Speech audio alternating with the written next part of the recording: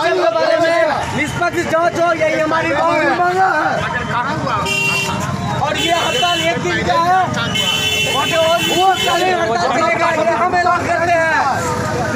ये जो जाम देख रहे हैं दो हज़ार तेईस का तेईस मार्च 2023 का एक झलक प्रत्येक खबर करुण बिहारी के साथ देख रहे हैं। यहाँ पर जो है कि मनीष कश्यप सपोर्ट लेकर जो है कि बीपुर मंदवा चौक पर काफ़ी देखने के लिए भीड़ मिल रहा है। आ, आप देख रहे हैं मनीष कश्यप की सपोर्ट लेकर जो है कि बिहार बंदी है और यहाँ पर जो है कि सभी जो है कि इस वीडियो के हो रही है को सरकार सरकार जाएगी और ये फिर वापस कभी ज़िंदगी में नहीं आएगी।